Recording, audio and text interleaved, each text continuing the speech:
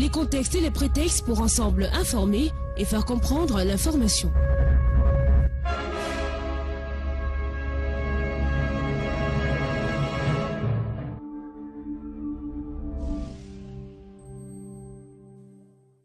De retour sur le plateau de la matinale après cette belle musique de qu'on vous a proposée. Son nom m'a échappé un tout petit peu. Andy. Andy, Andy, Andy, Ouais. et dans le titre Maggie. Maggie. On est revenu avec la publicité, nos partenaires. Madame, je crois que euh, le garçon de l'Est, quelqu'un a dit le mignon garçon de l'Est tout à l'heure. Le mignon garçon de l'Est est sur le plateau. Monsieur, bonjour. Et très bon début de semaine. Bonjour, euh, Pi Byron. Le million de l'Est s'appelle Lucien. Il est bien connu du côté du Parlement de l'Est. C'est lui qu'on appelle le million de l'Est. Bonjour, euh, Madame Il y a donc plusieurs mignons à l'Est alors. Non, il y a un seul. il s'appelle Lucien. Il y a un seul, c'est lui le million. Je vais saluer tous les auditeurs des différentes radios qui nous accompagnent au quotidien, les téléspectateurs également, qui sont euh, euh, scotchés, comme on le dit souvent. Et je voulais souhaiter un joyeux anniversaire à Patricia Koukan, Pat Fashion, qui a un an de plus aujourd'hui. Joyeux Oh, anniversaire. joyeux anniversaire à toi, Patricia. fashion. De fashion. Vraiment, euh, bonjour. Tout simplement, bon début de semaine. Et on va également souhaiter bonne fête à tous ceux qui portent le magnifique prénom de Guy, euh, Jean-Jacques. On pense à Guy Balto, on pense à l'artiste Guy Manou et on n'oublie pas Guy Patrick Di Cabosalo, quelqu'un que vous connaissez très bien, Jean-Jacques. Très bien, on ajoutera Guy Zogo, Ouais. euh, on ajoutera également Guy Baudot, qui sont en train de nous regarder ce matin. Ouais. Alors, on espère que votre week-end a été magnifique. Calme, Calme, calme. reposant. reposant, en famille aussi, avec plein d'amis et dans un endroit bien connu. Ça peut être calme les amis. En tout cas, on va, on, va, on va y revenir tout à l'heure. Peut-être le temps de prendre d'abord la revue de presse ce matin. Et vous nous proposez de commencer par le quotidien Émergence. Le quotidien Émergence qui note justement que depuis un certain temps, il y a un retour des attentats dans le septentrion. Boko Haram n'a pas totalement disparu. C'est une inquiétante recrudescence, telle que l'indique justement le quotidien Émergence. En sa grande une ce matin, des frappes se multiplient et pour une première fois, à l'intérieur d'une caserne militaire, des frappes ont été enregistrées dans le septentrion, d'où l'inquiétude présentée par le journal Le Quotidien Émergence en sa grande une ce matin, même si on notera avec Cameroun Tribune qu'il y a des raisons d'espérer, des raisons de croire à cette synergie entre les forces de défense déployées sur le terrain et les populations. D'ailleurs, l'implication de ces populations a entraîné euh, pratiquement la mise en déroute euh, de quelques porteurs de bombes et d'engins dans le cas des attentats dans le septentrion. On apprend avec Cameroun Tribune en sa grande une ce matin que quatre attentats ont été déjoués à Mora et à Kolofata. C'est une prouesse des comités de vigilance. Le journal nous parle justement de cette action des comités de vigilance, l'important désormais de ces comités de vigilance qui sont de plus en plus pris en charge par les pouvoirs publics, encouragés par le chef de l'État dans le cadre d'un système de défense populaire qui jusqu'à présent commence à porter des fruits, lesquels fruits sont d'ailleurs marqués en la grande une de Cameroun Tribune ce matin qui nous parle justement de ces quatre attentats qui ont été déjoués à Mora et à Kolofata dans le septentrion. Beaucoup d'autres sujets d'actualité sont évoqués à la fois par le premier journal, le quotidien Émergence, notamment les changements du côté de Camrail, la compagnie ferroviaire nationale, un nouveau PCA, un nouveau directeur général, ils ont été remplacés après avoir émis leur volonté de démissionner. Le journal Cameroun Tribune parle également de l'arrivée de cette nouvelle personnalité à la tête de la compagnie ferroviaire euh, nationale. On parle de mouvement à Camrail. Aboubacar Abou est le nouveau président du conseil d'administration, tandis que Jean-Pierre Morel devient directeur général euh, de cette euh, compagnie ferroviaire nationale du euh, Cameroun. Autre sujet, autre débat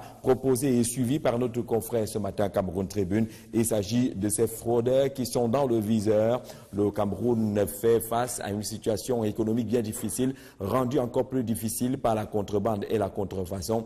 Quels sont les moyens qui sont désormais déployés par les pouvoirs publics pour tordre le cou à ces fraudeurs qui sont dans le viseur, tel qu'indique notre confrère ce matin? Fraudeurs-là qui ont utilisé ou qui utilisent des grands moyens avec des balances qui sont truquées, des produits périmés ou contrefaits, arnaques et chantage de la part de certaines associations des consommateurs, etc..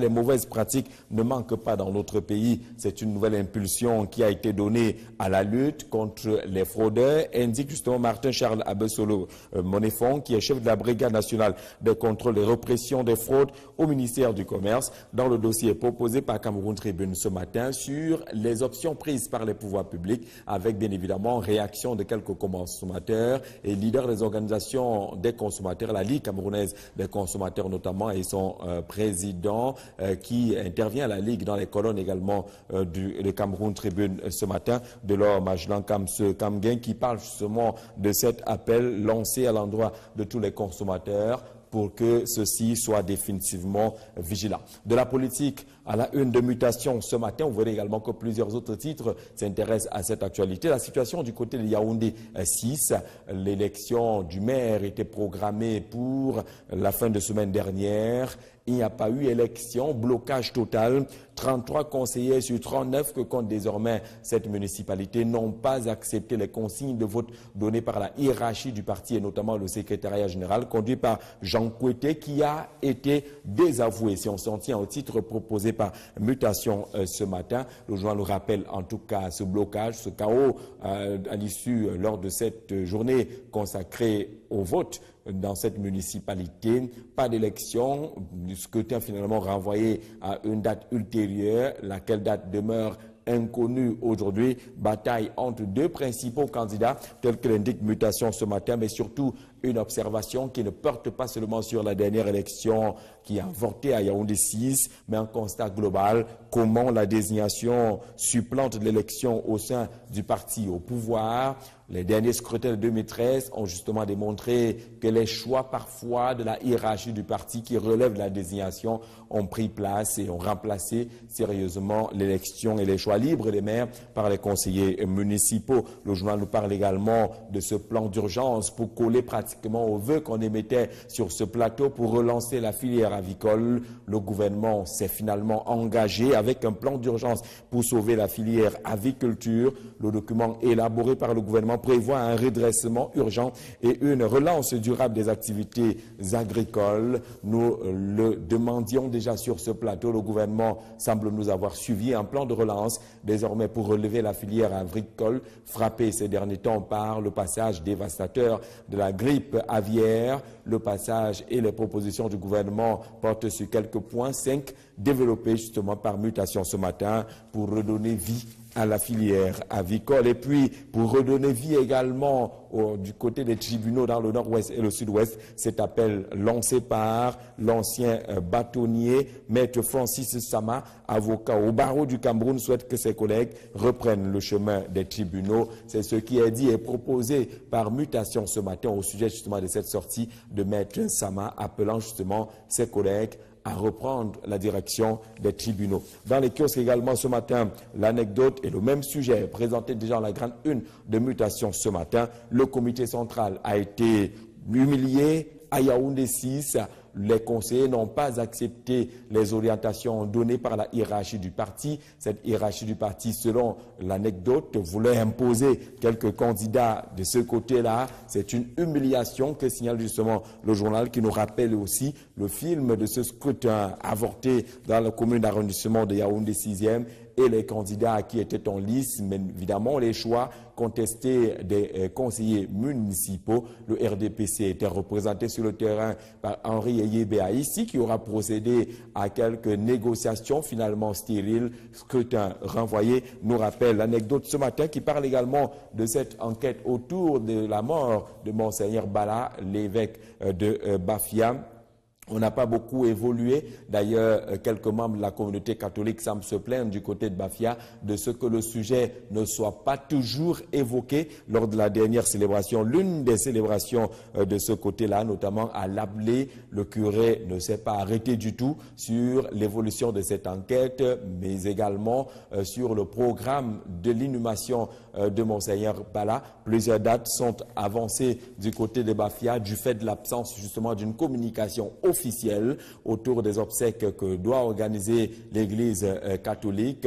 Des dates euh, sont nombreuses de ce côté-là. Des questions aussi, la situation de cette enquête qui semble piétiner, les appels téléphoniques qu'il aurait eu, notamment le dernier de plus de 20 minutes, n'a pas encore été éventré jusqu'à présent. les enquêteurs se contenteraient du menu qui tournerait autour du gardien et du chauffeur du prélat et le journal de nous rappeler justement qu'autour de l'assassinat de Monseigneur Seigneur Plumet. On s'était également contenté tout juste du cuisinier et du gardien. Pas de véritable évolution malgré les appels lancés depuis leur prison par ceux-là euh, qui ont finalement fait objet de cette arrestation. Même si on le verra avec quelques titres dans la presse ce matin, on apprend par exemple avec euh, ces titres-là que quatre personnes auraient déjà été interpellées autour de cette affaire de la mort suspecte de Monseigneur euh, Bala. L'anecdote est son supplément ce lundi est consacré justement à ce phénomène de mode dans les cabarets et autres lieux euh, de détente, de distraction et de loisirs.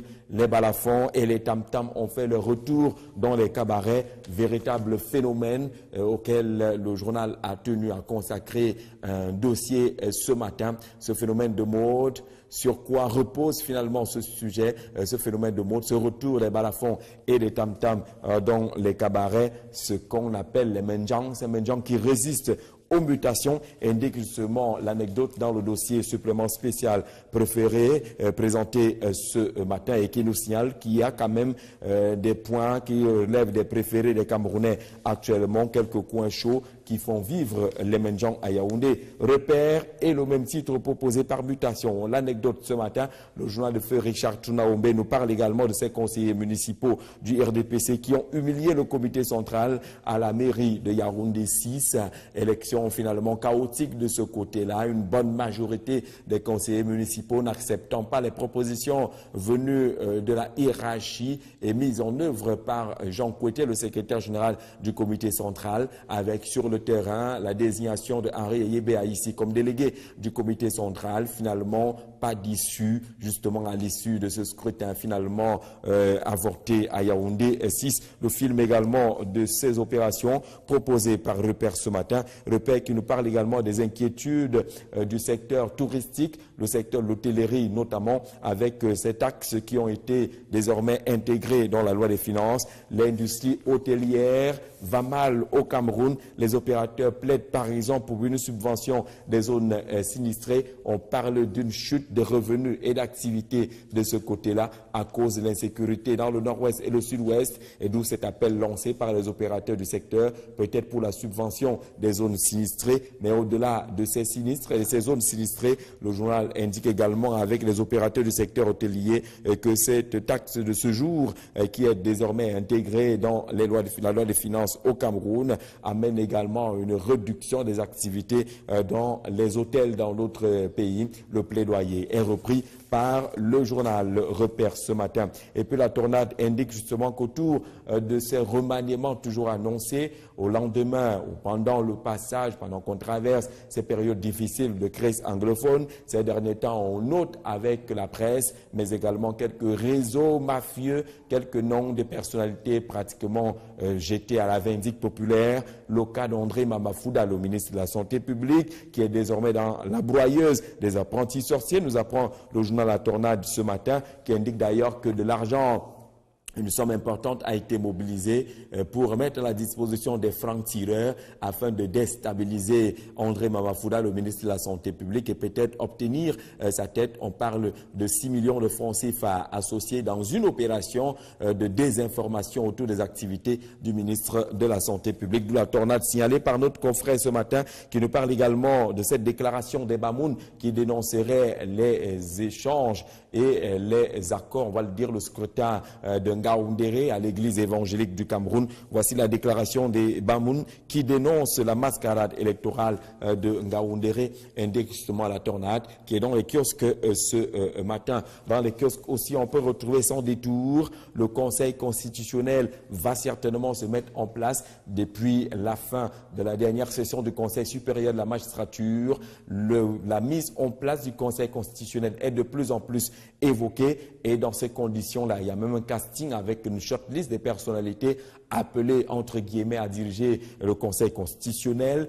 Et dans cette option-là, la région de l'Est aurait été choisie par le chef de l'État. La présidence tend la main à l'Est avec les quatre qui sont sur la shortlist devant euh, permettre au chef de l'État de choisir les dirigeants ou le principal dirigeant du Conseil constitutionnel. On le voit bien, le sénateur Charles Salé, le sénateur Baden Dongadinga, le député Brigitte Meban, le sénateur René euh, Zengele, qui serait justement sur cette shortlist des populations du soleil levant, des fils du soleil levant, appelés à diriger selon son le Conseil constitutionnel qui se mettrait déjà en place. On découvre également dans les kiosques ce matin le Messager, le journal de feu Plus Ndiawe, qui insiste sur les changements du côté de Camraï, un nouveau président du conseil d'administration, on l'a dit, un nouveau directeur général, parce que les anciens ont démissionné, tel qu'on le voit à la grande une choisie par le Messager ce matin, ont-ils délibérément démissionné, ont-ils été poussés à la démission, est-ce qu'on peut parler des têtes qui commencent à tomber du côté de Camraï,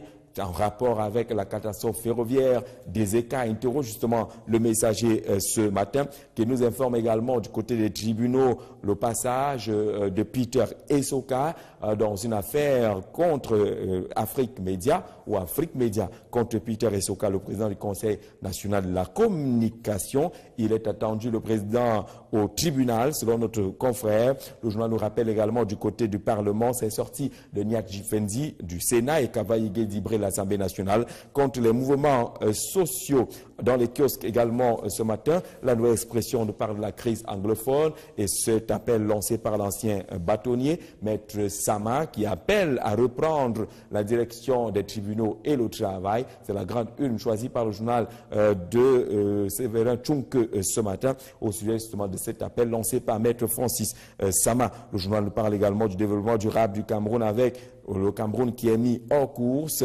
On peut noter également du côté euh, des kiosques la présence du biais hebdomadaire La Météo qui nous signale un certain complot au sommet de l'État, comment Gongo, le secrétaire général de la présidence de la République, oppose la France à Paul Biya pour avoir refusé euh, quelques paiements. Le secrétaire général de la présidence de la République est indexé par le biais hebdomadaire La Météo euh, ce euh, matin. Le journal propose également une enquête sur les dessous de la guerre déclarée contre le groupe Bolloré au sujet justement de la catastrophe ferroviaire, mais également quelques zones et structures exploitées entre guillemets par le groupe Bolloré dans notre pays. L'œil du Sahel n'a pas oublié la catastrophe ferroviaire des écarts, en indiquant justement que quelques autres personnalités pourraient être euh, concernées. On découvre également dans les kiosques ce matin le journal L'Indépendant euh, qui euh, parle justement d'atteinte à la sûreté intérieure de l'État. Le journal L'Indépendant indique justement que des rebelles tchadiens, centrafricains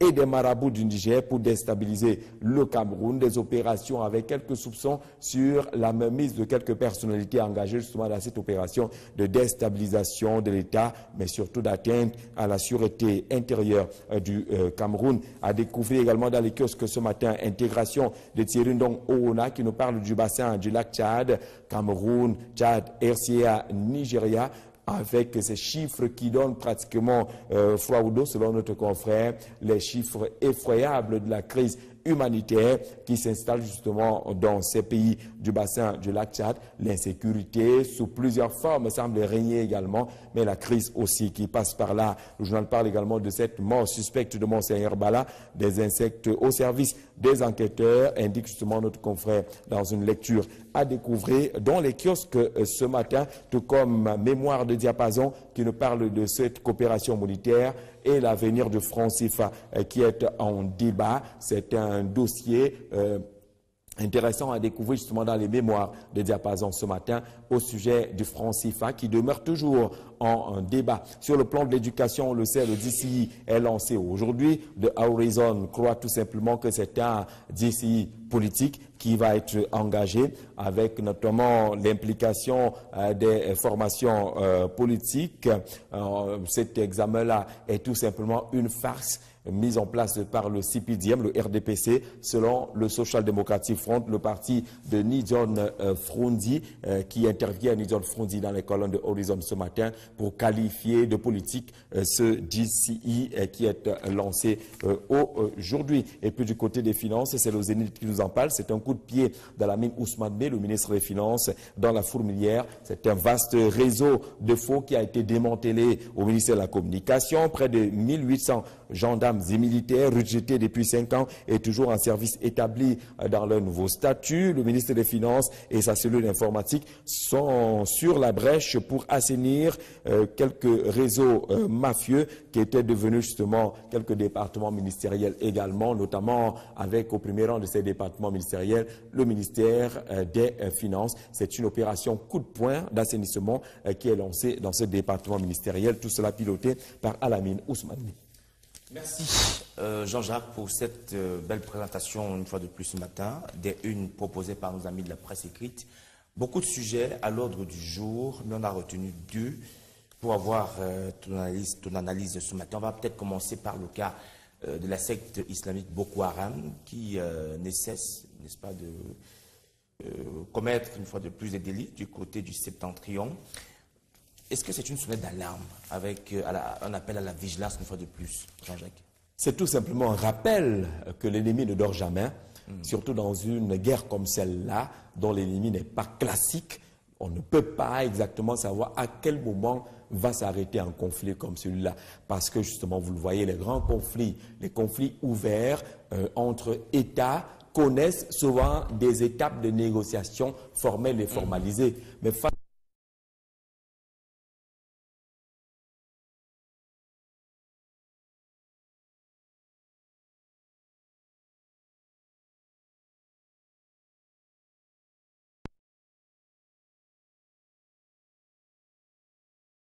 pour lancer justement le groupe relais du groupe euh, euh, L'Anecdote. Peut-être qu'on va retrouver avec la grande gestuelle euh, qu'effectue le réalisateur de l'émission et revenir justement à cette préoccupation sur l'ennemi qui ne dort pas. Boko Haram n'est pas connu n'est pas un visage, n'est pas un État, n'a pas, je veux dire, des revendications qui sont connues, parce que jusqu'à présent, on ne peut pas vous dire exactement ce qui fait problème et pourquoi on est exposé à ces différentes frappes de la nébuleuse Boko Haram. Et dans des conditions comme celle-là, justement, le rappel que vous faites est très important. La vigilance doit rester de mise. Il faut éviter tout ce qui peut distraire les Camerounais, notamment les forces qui sont déployées sur le terrain. Vous savez justement que ces frappes arrivent au moment où on a quand même noté une sorte de mutinerie qui était naissante dans le septentrion. Mm. Tous ces éléments-là, cette attitude peut ouvrir quelques failles et encourager justement la nébuleuse à porter des frappes. Nous pensons aujourd'hui, même si on n'a pas de leçon à donner fondamentalement à ceux qui ont manifesté,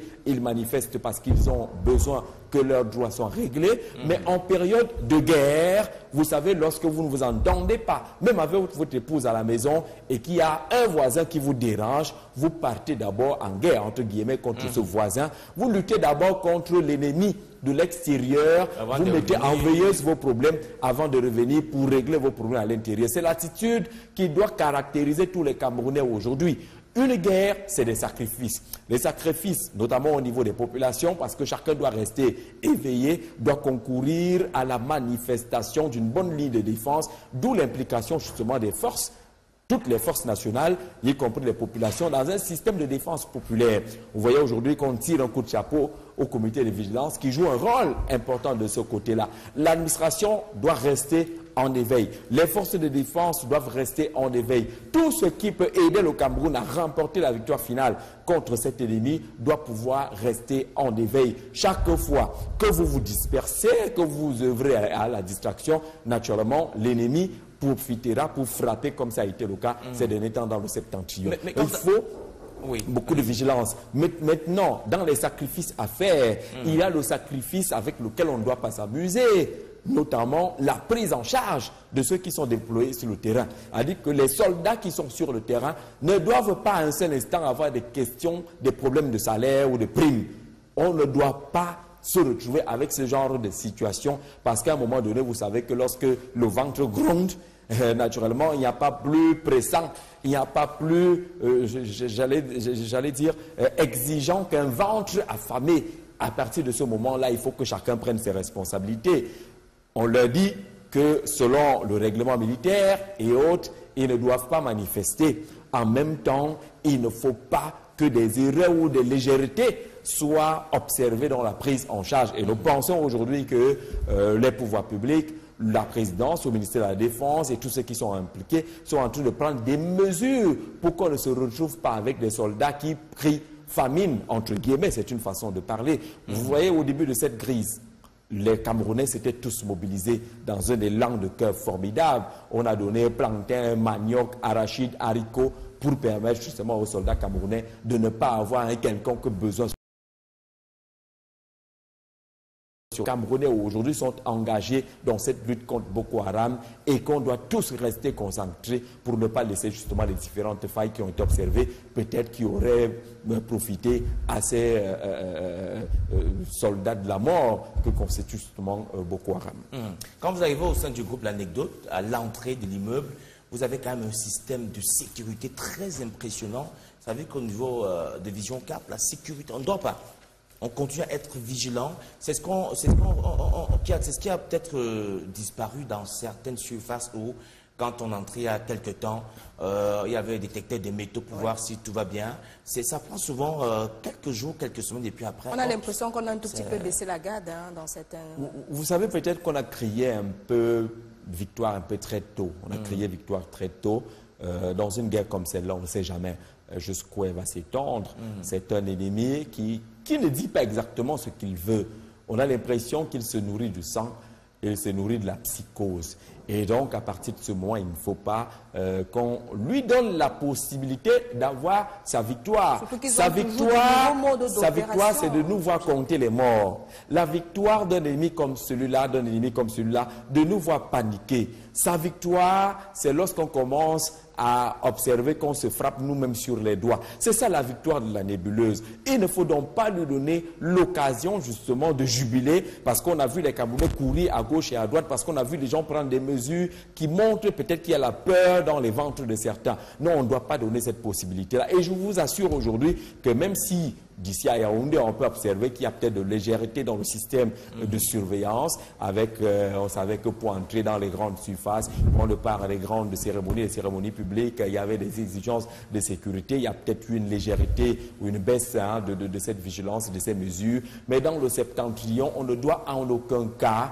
euh, baisser la garde. Et je pense aujourd'hui euh, qu'au regard du travail effectué par José Betty à Somo, qui a l'habitude d'aller passer même des nuits là-bas au front avec euh, des soldats. Il n'est pas question aujourd'hui de baisser la garde. Il est question plutôt d'impliquer encore tout le monde, d'impliquer davantage des acteurs qui puissent se recruter un peu partout. Chacun a son mot à dire et son rôle à jouer dans ce système de défense populaire depuis des années, chaque 20 mai. On rappelle que la synergie État-nation, force de défense doit être mise en œuvre pour arriver à des victoires, notamment contre Boko Haram. il n'y a pas question aujourd'hui de baisser la garde.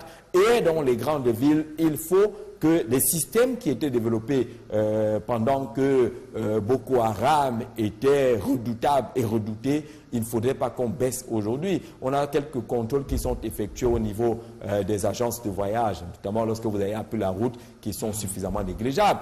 On doit faire des contrôles systématiques à l'embarquement. Bagages, et passagers de façon systématique. Mm. On doit sensibiliser les conducteurs parce que les conducteurs qui prennent la route à Yaoundé et qui s'arrêtent à Bankoum après le poste de contrôle pour porter d'autres passagers parce qu'ils veulent faire les gens, gens, ils sont dangereux. Ils ne savent pas qui ils sont en train de porter en ce moment-là alors qu'ils sont partis avec un manifeste, avec une liste de passagers devant faire le voyage. Mm. Ils sont dangereux, ceux qui sont au poste de contrôle, qui observent qu'il y a des gens assis au niveau des couloirs, des autobus ou des escaliers et ne disent rien, se contentent justement du petit billet que donne le chauffeur. Tout cela est dangereux. On doit être strict et systématique. Si le bus est parti de Yaoundé avec 15 passagers qui ont été identifiés, les 15 doivent arriver à destination. Si tous les bagages ont été fouillés avant d'embarquer dans la soute, et eh bien évidemment, c'est là les aspects de sécurité qu'il va falloir développer. Mais rappeler justement aux soldats, rappeler à l'État du Cameroun, rappeler aux populations que nous sommes à l'heure du sacrifice. La guerre comme celle-là, c'est la guerre du sacrifice. Chacun doit se déployer, chacun doit accepter, accepter perdre un peu pour protéger l'intégrité territoriale du Cameroun. Voilà. Beaucoup de journaux en parlent ce matin. Il s'agit de l'élection d'un nouveau maire à la commune de Yaoundé 6e, Jean-Jacques. On parle d'un scrutin avorté et reporté à une date euh, ultérieure. Que se passe-t-il exactement à la commune de Yaoundé 6e il se passe que euh, pour remplacer le maire Lolo qui est décédé, euh, il a été convoqué en conseil euh, électif conseil municipal électif qui devait aboutir à la désignation d'un nouveau maire. C'est clair, selon la note signée du préfet du département euh, du euh, Fondi, qui est l'autorité compétente en la matière. Les conseillers municipaux se sont présentés et il n'y a pas eu élection. Parce que la session normale qui doit se tenir pour une élection doit être ouverte par l'autorité, notamment le préfet, qui ne s'est pas présenté. Il y a d'abord eu des tractations menées par le RDPC parce que c'est une commune essentiellement constituée des conseillers municipaux du Rassemblement démocratique du peuple camerounais. Et la tradition dans ce parti veut souvent que chaque fois qu'il y a une échéance comme celle-là, que le parti donne des consignes. Je mets tout cela entre guillemets parce que ceux du comité central, on n'aime pas le mot consigne. On n'aime pas entendre qu'on a imposé un maire, qu'on a désigné un maire. Mais le système tel qu'il se développe ressemble à des maires, j'allais dire, désignés démocratiquement. Parce qu'après, il y a quand même un semblant d'élection qui se fait, mais on sait déjà, quels sont euh, les choix de la hiérarchie choix, du ouais. parti. À Yaoundé 6, semblerait-il, le parti avait son candidat désigné ou choisi et les conseillers municipaux n'ont pas voulu suivre ce chemin-là et ont appelé à une élection. Parce qu'il faut le dire, c'est les conseillers municipaux qui votent le maire en session à l'intérieur du conseil municipal, parce que le conseil municipal est sacré. Vous pouvez avoir été le maire, le candidat le plus populaire lors de la campagne électorale, mais le conseil municipal peut décider autrement là-bas parce que le vote là-bas, euh, il est normal, c'est un conseiller, une voix. Et un maire peut être élu, même s'il n'a pas été celui que les populations voulaient fondamentalement. Mais puisqu'on a donné mandat aux conseillers municipaux pour représenter les populations, leur choix devient le choix des populations. Et là, c'est la dictature de la démocratie, faut-il le dire. À Yaoundé 6, les tractations euh, se sont tenues pratiquement toute la journée. Henri Le Eleba ici, était le où? comité central du RDPC. pas rendez-vous avec Non, le, R- le préfet n'était pas encore là. J'ai l'impression que le préfet attendait qu'on lui dise que même si le préfet pouvait maintenant venir, ouais. pour présider la session ordinaire. Mais il n'y a pas eu donc une entente et on a eu l'impression que l'élection faisait peur à certains. Pourquoi une élection ferait peur aux gens qui savent que nous sommes en démocratie et qu'en démocratie, c'est le vote qui compte, c'est-à-dire l'élection? Il faut que le RDPC, qui est à l'origine de tout cela, parce qu'il faut le dire, ce sont les habitudes du RDPC qui ont conduit à ce que certains aient peur des élections. Parce que les principes, même s'ils relèvent de l'organisation interne de ce parti, mais dans la perception globale de la démocratie, ces principes ont quand même des petits problèmes que l'opinion n'accepte pas beaucoup. C'est-à-dire des choses qui ont commencé, vous l'avez vu en 2013, avec euh, des investitures. Des gens arrivent, ils tiennent des réunions qui sont gérées comme des lieutenants en guerre, qui choisissent des candidats, qui écartent d'autres candidats, même si c'était les choix du peuple, mais on vous dit que c'est le parti qui investit le candidat. Mais les notions d'investissement en démocratie commencent à être un problème. Et le RDPC aujourd'hui qui a eu à qualifier certains de ses militants d'indisciplinés pour n'avoir pas accepté ce processus-là qui est quand même une pierre dans la chaussure de la démocratie. Ces gens ont été, certains virés du parti, d'autres sont sanctionnés aujourd'hui. Il y en a qui sont considérés comme des parias, qui n'espèrent même plus jamais avoir un mandat à l'issue euh, au RDPC. Il faut dire que les, les- les- les- les- les conseillers municipaux sont souverains dans cet exercice-là. Le parti a ses exigences de discipline, de respect de la hiérarchie, ainsi de suite, ainsi de suite. Mais tout cela rend quand même l'exercice de la démocratie assez difficile. Qu'est-ce qu'on va faire à Yaoundé 6 Va-t-on sanctionner tous ces conseillers municipaux qui ont voulu faire vivre l'expression de l'urne parce qu'ils n'auraient pas respecté quelques consignes Voilà. qui auraient été données par la hiérarchie du parti Sinon, vous voyez que cette élection va faire cas. Ça va faire jurisprudence. Ouais. La prochaine élection en 2018, vous verrez qu'il y aura encore plus de manifestations dans ce genre-là. Parce qu'il y a beaucoup de personnes aujourd'hui qui ont souffert de cette dictature, entre guillemets, démocratique qui est initiée par le RDPC. Nous respectons le livre jaune du parti, le règlement intérieur, l'organisation du parti. Mais nous disons RDPC, attention, au fil des scrutins, il y a un gros malaise qui s'installe. Il y a des graissements dedans. De plus en plus, on va se retrouver avec des militants rebelles. Vous savez qu'on a même interdit aux militants de prendre la parole sans avoir été mandatés au sein du RDPC. Mais allez arrêter ceux-là qui se disent que venez d'abord me prendre. Pour m'interdire de parler alors que nous sommes en démocratie et que la liberté d'expression fait partie des fondamentaux de la démocratie. Il y a donc de plus en plus des décisions qui, au sein du RDPC, ne permettent pas de construire une véritable vie démocratique. Maintenant, vous êtes libre d'adhérer à un parti politique parce que c'est une association. Quand vous êtes libre, c'est que vous avez accepté le règlement de ce parti politique. L'acceptation des lois qu'on s'est volontairement prescrites, dit-on, en école de droit, est une liberté. Vous êtes parti vous-même. Personne n'est allé vous chercher à la maison que vient être militant du RDPC. Et quand vous êtes arrivé, on vous a dit, voilà comment ça fonctionne chez nous. Si vous avez accepté, on dit au village que c'est la patate qui a accepté d'être mangée crue. Si on vous mange cru, vous avez accepté de venir vous faire manger cru. Faites comme le macabo. Devenez méchant, énervé et ne venez pas créer votre formation politique avec votre règlement. Mais tant que vous serez militant du RDPC, on va vous sanctionner. Même si sur le plan de la perception de la démocratie, ça peut être un problème. Donc il faut bien qu'on se comprenne. La démocratie peut souffrir du règlement intérieur du RDPC. Mais le règlement intérieur ne s'impose qu'à ceux des militants qui ont choisi d'être là. Et ils ont été là parce qu'ils ont dit que nous, on accepte votre idéologie. En acceptant votre idéologie, ça s'accompagne d'un règlement. On accepte également le règlement. Si le règlement a dit que c'est comme ça que ça fonctionne, vous devez vous arrimer à ce règlement-là. Sinon, vous démissionnez. Sinon, vous acceptez qu'on vous démissionne, qu'on tranche votre tête ou qu'on vous considère comme rebelle. Est-ce qu'on peut, on que prochainement ça va aller ça va pas... Non, on espère que ça va aller prochainement. On espère que la démocratie va régner de ce côté-là. La démocratie, c'est aussi que le comité central peut écouter la voix des conseillers municipaux. Peut-être le retour du mandataire du comité central peut amener le comité central à dire que, ok, allez-y, faites les jeux, jouez votre jeu et ramenez-nous un maire digne de représenter le parti. C'est de cela qu'il s'agit. Donc on peut à la fois demander aux conseillers municipaux de se plier parce que c'est ce que disent les textes ou l'organisation du parti. En même temps, on peut demander au sommet du parti de dire aux conseillers municipaux que nous vous avons compris, allez-y, jouez le jeu de la démocratie, mais n'oubliez pas, nous sommes un parti et le parti, c'est son idéologie, c'est son règlement. Ces deux choses fondamentales doivent être respectées lorsque vous adhérez à un parti politique. Et vous verrez que de plus en plus, les opportunistes vont reculer parce qu'ils ne comprennent rien de la formation d'un parti politique. Ils sont venus parce qu'ils pensaient qu'une fois que tu as porté la bille qui a l'effigie du président Paul Biya, c'est fini, tu t'es ouvert des voies pour avoir accès à ci ou ça. Mais ils ont oublié qu'il y a le règlement intérieur.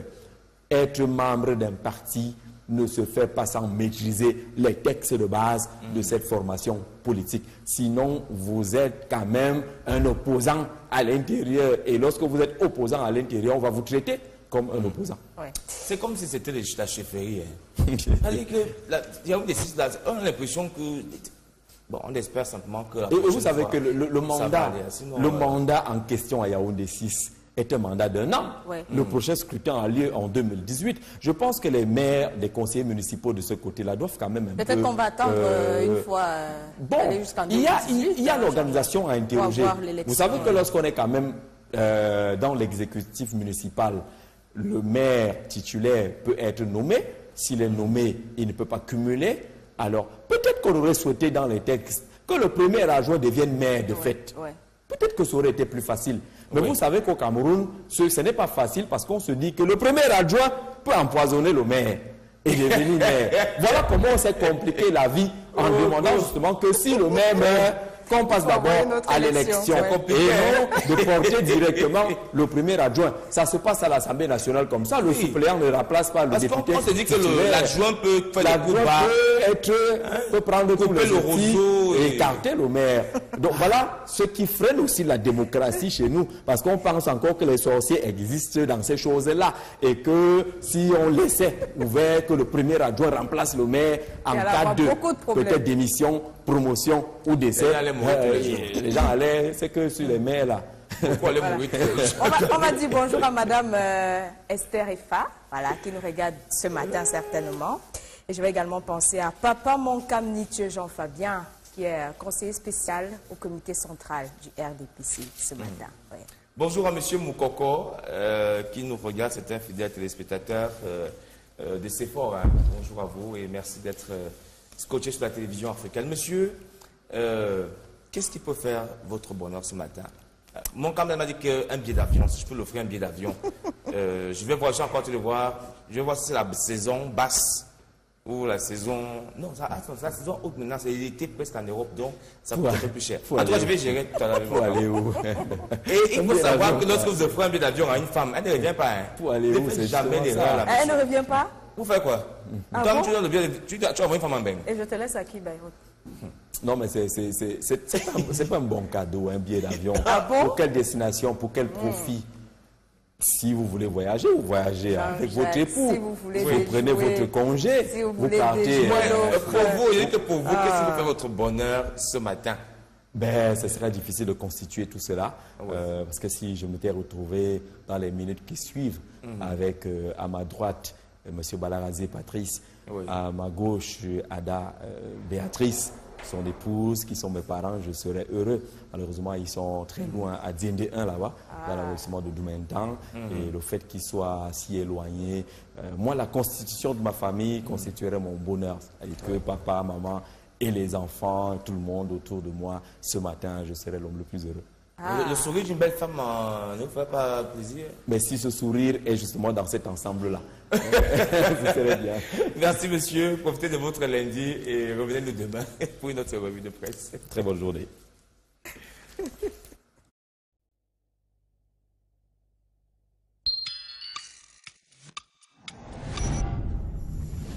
Les contextes et les prétextes pour ensemble informer et faire comprendre l'information.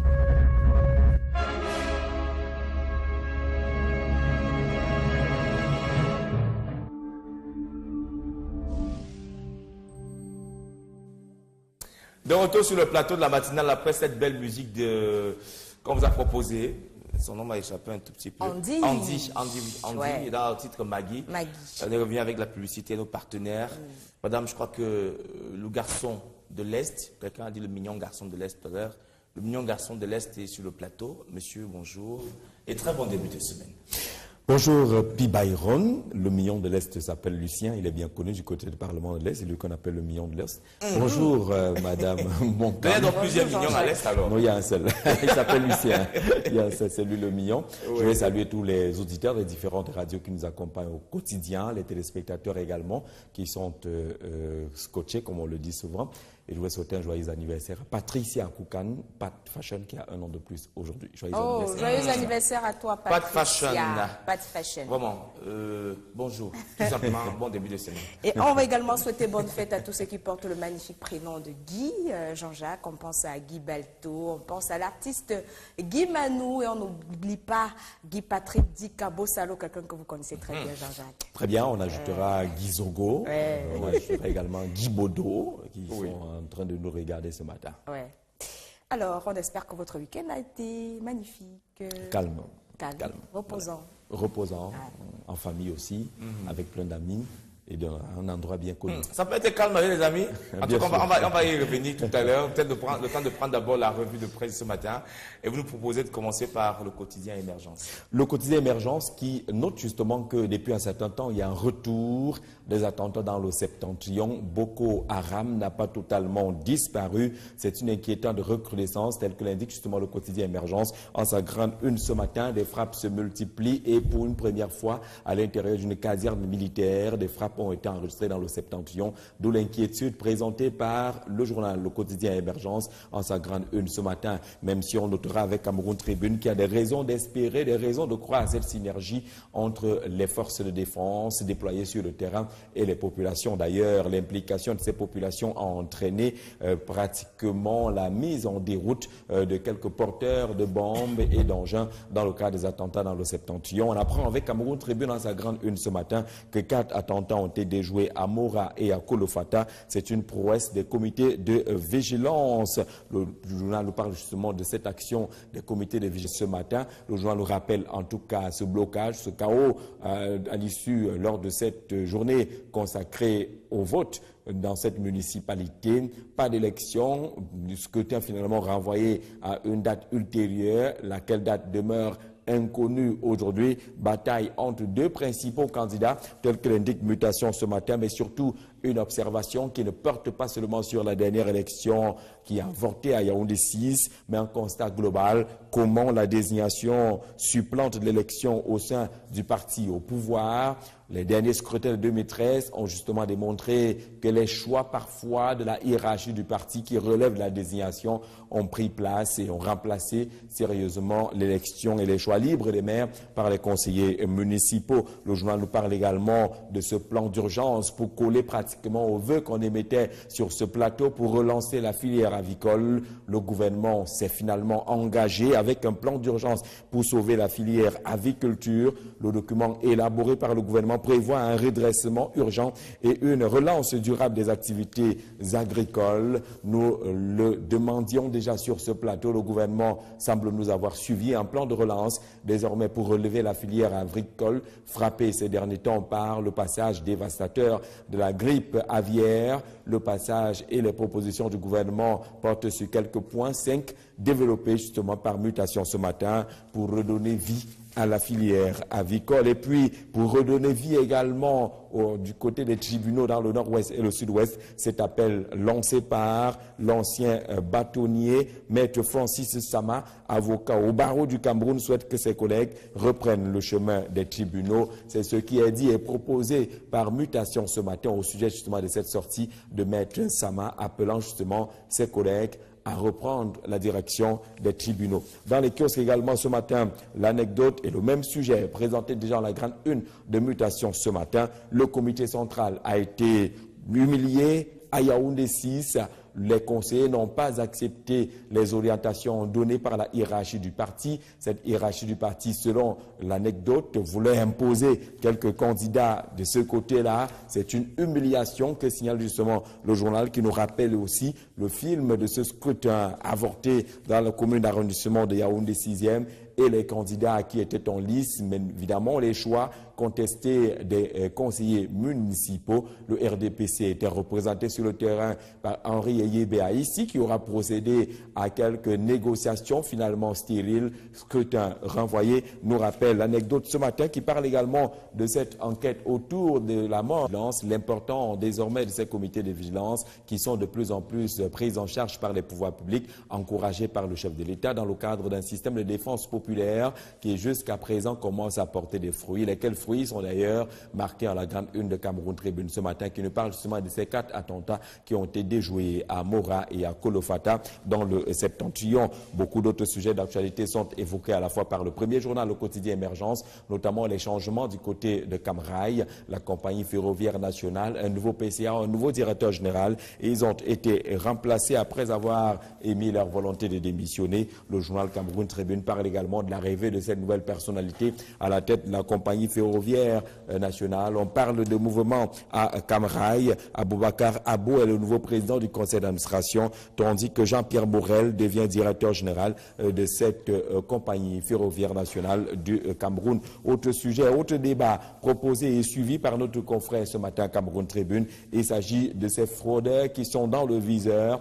Le Cameroun fait face à une situation économique bien difficile, rendue encore plus difficile par la contrebande et la contrefaçon. Quels sont les moyens qui sont désormais déployés par les pouvoirs publics pour tordre le cou à ces fraudeurs qui sont dans le viseur, tel qu'indique notre confrère ce matin. Ces fraudeurs-là qui ont utilisé ou qui utilisent des grands moyens avec des balances qui sont truquées, des produits périmés ou contrefaits, arnaques et chantage de la part de certaines associations des consommateurs, etc., etc. Les mauvaises pratiques ne manquent pas dans notre pays. C'est une nouvelle impulsion qui a été donnée à la lutte contre les fraudeurs, indique justement Martin Charles Abessolo euh, Monéfond, qui est chef de la Brigade nationale de contrôle et répression des fraudes au ministère du Commerce, dans le dossier proposé par Cameroun Tribune ce matin sur les options prises par les pouvoirs publics, avec bien évidemment réaction de quelques consommateurs et leaders des organisations des consommateurs, la Ligue camerounaise des consommateurs notamment et son euh, président euh, qui intervient à la Ligue dans les colonnes également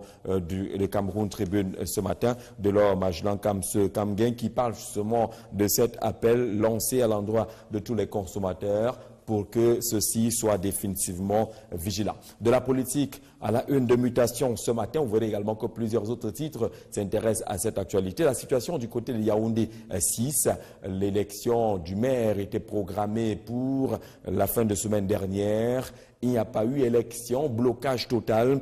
33 conseillers sur 39 que compte désormais cette municipalité n'ont pas accepté les consignes de vote données par la hiérarchie du parti et notamment le secrétariat général conduit par Jean Coueté qui a été désavoué. Si on s'en tient au titre proposé par mutation euh, du comité central, finalement pas d'issue justement à l'issue de ce scrutin finalement euh, avorté à Yaoundé 6. Le film également de ces opérations proposées par repère ce matin. Repère qui nous parle également des inquiétudes euh, du secteur touristique, le secteur de l'hôtellerie notamment, avec euh, ces taxes qui ont été désormais intégrées dans la loi des finances. L'industrie hôtelière va mal au Cameroun. Les opérateurs plaident par exemple pour une subvention des zones euh, sinistrées. On parle d'une chute de revenus et d'activité de ce côté-là à cause de l'insécurité dans le nord-ouest et le sud-ouest, et d'où cet appel lancé par les opérateurs du secteur, peut-être pour la subvention des zones sinistrées, mais au-delà de ces sinistres et ces zones sinistrées, le journal indique également avec les opérateurs du secteur hôtelier euh, que cette taxe de ce jour, euh, qui est désormais intégrée dans les lois de, la loi des finances au Cameroun, amène également une réduction des activités euh, dans les hôtels dans d'autres pays. Le plaidoyer est repris par le journal Repère ce matin. Et puis la tornade indique justement qu'autour de ces remaniements toujours annoncés, au lendemain ou pendant le passage, pendant qu'on traverse ces périodes difficiles de crise anglophone, ces derniers temps, on note avec la presse, mais également quelques réseaux mafieux, quelques noms de personnalités pratiquement euh, jetés à la vindicte populaire. Le cas d'André Mamafouda, le ministre de la Santé publique, qui est désormais dans la broyeuse des apprentis sorciers, nous apprend le journal La Tornade ce matin, qui indique d'ailleurs que de l'argent une somme importante a été mobilisée euh, pour mettre à la disposition des francs-tireurs afin de déstabiliser André Mamafouda, le ministre de la Santé publique, et peut-être obtenir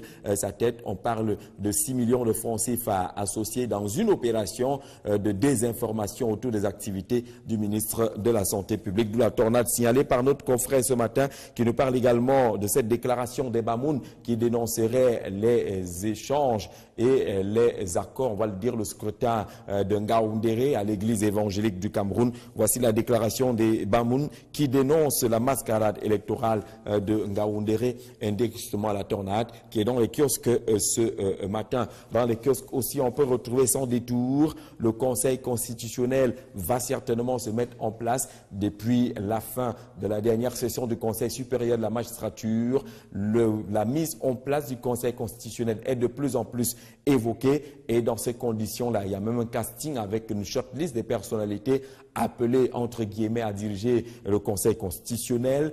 Et dans cette option-là, la région de l'Est aurait été choisie par le chef de l'État. La présidence tend la main à l'Est avec les quatre qui sont sur la de Monseigneur Bala, l'évêque euh, de euh, Bafia on n'a pas beaucoup évolué. D'ailleurs, euh, quelques membres de la communauté catholique semblent se plaindre du côté de Bafia de ce que le sujet ne soit pas toujours évoqué lors de la dernière célébration. L'une des célébrations euh, de ce côté-là, notamment à Lablé, le curé ne s'est pas arrêté du tout sur l'évolution de cette enquête, mais également euh, sur le programme de l'inhumation de Monseigneur Bala. Plusieurs dates sont avancées du côté de Bafia du fait de l'absence justement d'une communication officielle autour des obsèques que doit organiser l'Église euh, catholique.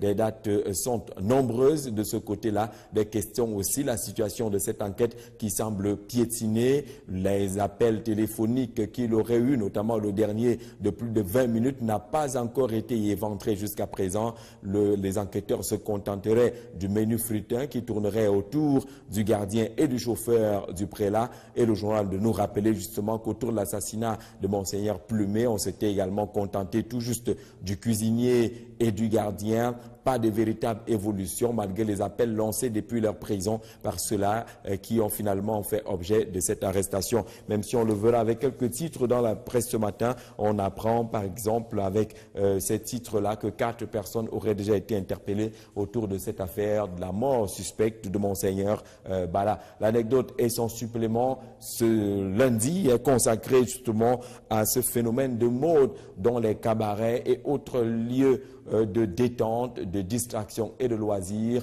Les balafons et les tam-tams ont fait leur retour dans les cabarets, véritable phénomène euh, auquel le journal a tenu à consacrer un dossier euh, ce matin. Ce phénomène de mode, sur quoi repose finalement ce sujet, ce phénomène de mode, ce retour des balafons et des tam-tams dans les cabarets, ce qu'on appelle les menjangs, ces menjangs qui résistent aux mutations, indique justement l'anecdote dans le dossier supplément spécial préféré euh, présenté euh, ce matin et qui nous signale qu'il y a quand même euh, des points qui relèvent des préférés des Camerounais actuellement, quelques coins chauds font vivre les Menjans à Yaoundé. Repère et le même titre proposé par mutation. L'anecdote ce matin, le journal de feu Richard Tunaombe nous parle également de ces conseillers municipaux du RDPC qui ont humilié le comité central à la mairie de Yaoundé 6. Élection finalement chaotique de ce côté-là. Une bonne majorité des conseillers municipaux n'acceptant pas les propositions venues euh, de la hiérarchie et mises en œuvre par Jean Coueté, le secrétaire général du comité central, avec sur le terrain la désignation de Henri Yébéa ici comme délégué